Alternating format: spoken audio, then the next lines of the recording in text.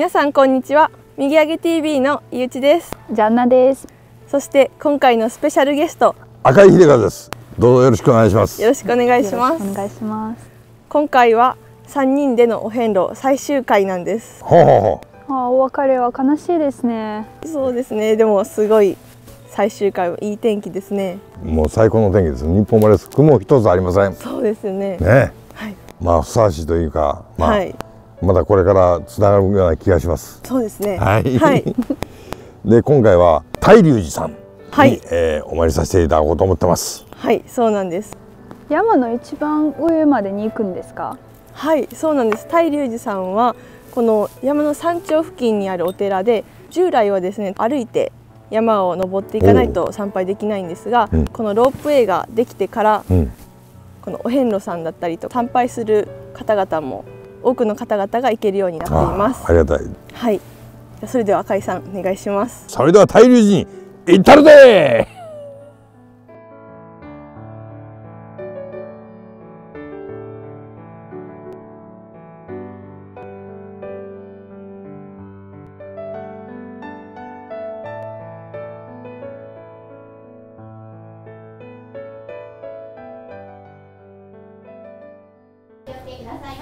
あのちなみに前の方が面白いですか？後ろの方が面白い。前の方が。前。はい。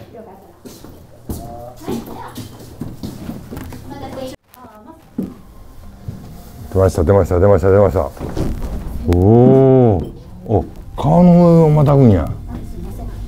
はい、では本日はね、ようこそ鷲の里大龍寺山へお越しくださいました。はい、このロペになります。スイス製となっております。はい、このゴンドラだけで101人乗りのゴンドラとなっております。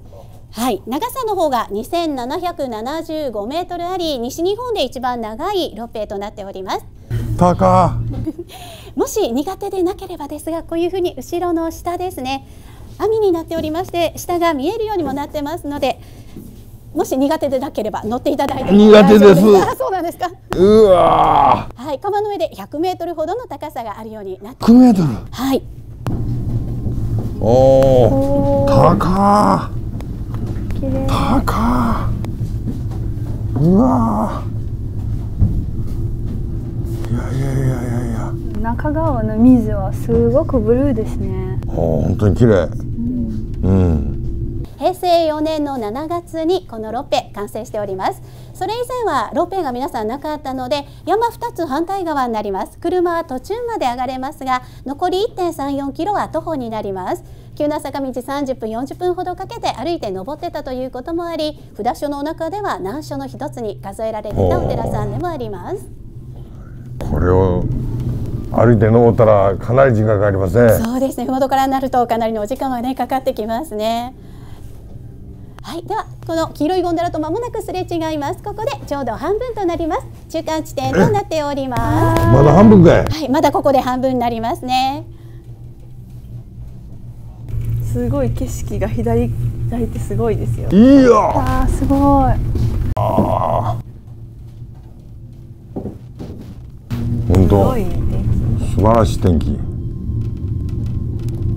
まもなくこちら前方2号支柱を通過いたします。今日は景色が特にね遠くの方まで綺麗にご覧いただけます。山を越えると正面前方に平たく大きな島が見えてくるのが淡路島となります。今日右奥和歌山県までご覧いただくことができうます。わーすごい。いません、足元お気をつけください。いや全然大丈夫やうわー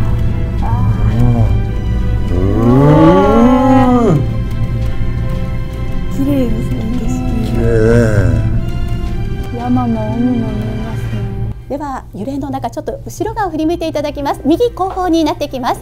あすみません、あちらになります。弘法大師様がご修行された南の写真画だけをご覧いただくことができます。岩の上になりますね。わかりますでしょうか？あちらお大師様19歳の時にご修行されたはい写真画だけになりますこちらで100日間にわたり100万遍の虚空像愚問寺法ご修行された場所となりお顔は明けの明星を見ながら修行されたので真東の方角を向いて座られております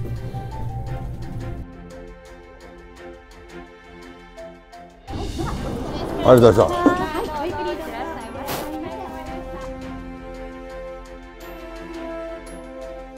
はい、ロープウェイに乗って山頂駅に到着しました。こちらはロープウェイ駅長の藤本さんです。よろしくお願いします。よろしくお願いします。こちらの、えー、大龍山とはどういうお寺なんですか？はい、えー、大龍寺は四国霊場の21番札所で弘法大師空海が19歳の時に修行を行った地となっております。この先にある写真ヶ岳という岩山でその頂上で100日間100万遍のご神言を唱えるという修行をなさった場所でもございます。また境内の中もあの樹齢数百年誇る杉やヒノキといった古木もありますし本堂や大師堂多宝塔などの歴史的な建築物もあって西の高野山と呼ばれるような立派なお寺でもございます。あのこちら大龍寺さんはどういうご利益がございますございますでしょう？まあ、主にあの本尊の国土菩薩様が知恵を授けてくださる仏様なので、はいはい。記憶力の向上とか、まあ、学力向上などにご利益があると言われています。最近記憶力悪いですからね。あれ財布よかったかな？ってあ家置いてきたとかね。そんなにしょっちゅうありますんで。あのお参りしてご利益いただければと思います。はいご利益いただはいきます。はい、それでは大龍寺さんに参拝に行きましょう。いやこ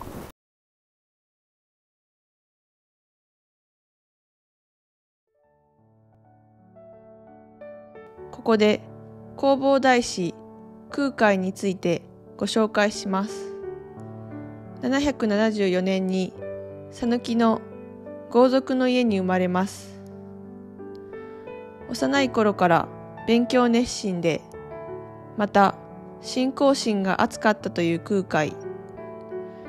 一度は大学へ進学しましたが出世のために猛勉強する日々に疑問を抱き自分の生きる意味を探すべく大学を中退し僧となり修行を始めます。道中はこれまで学んできたことを生かして人々を救います。しかし時には答えを求めて途方に暮れることもありました。四国の深い山々に入っては厳しい修行を行っていた頃ここ大龍寺山での修行中に見た空室戸岬で見た海から空海の名を思いついたといいます。そして空海はこの世に生きるすべてのものが自分らしく輝けるよう自分の命を生かすことこそが生きる道だと気づきます。唐へ勉強に渡り日本へ帰国した後は人々に分け隔てなく教えたくさんの人を導きました。自分の心が喜ぶように行動すればおのずと道は開けるだろうと残しています。19歳の空海が空ということを捉え後に悟りを開くきっかけとなったこの場所に大龍寺が建てられています。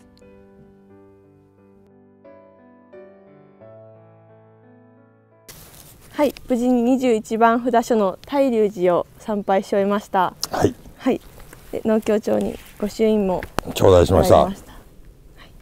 赤井さん大龍寺を参拝してみていかがでしたか？いやまあロープウェイは乗ったとはいえ、はい。まあこう山の奥までよしてお参りさせていただいてなん。か、うん、ありがたいご利益がいただけそうな気がしました。はいそうですね。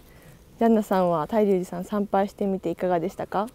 もう改めて大龍寺さんはもう徳島のもしくははい四国の一つのハイライトだと思いますね。そうですね本当にすごく立派なお寺ですよねですね。いかがでしたか？そうですね本堂のあの建物だったりとか柱にもすごく細かな彫刻があってすごいあの清らかな気持ちになりましたはい。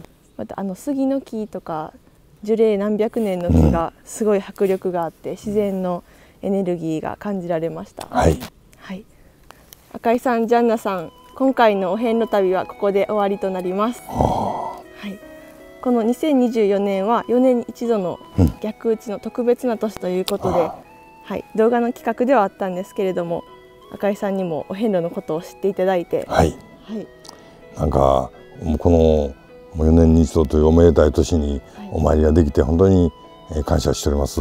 またあの、まあ、家族でプライベートで教えていただきたいなと思いましたねありがとうございます。またぜひ徳島や四国に来てください。はい、それでは四国88箇所皆さんもぜひお参りに来てください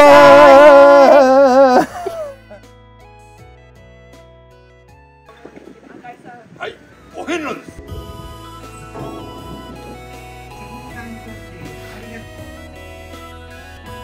神太郎さん、この衣装。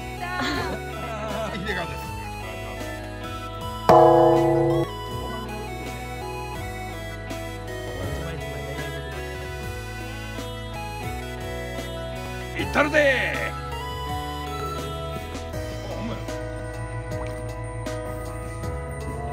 歩いて登るのは大変ですよね。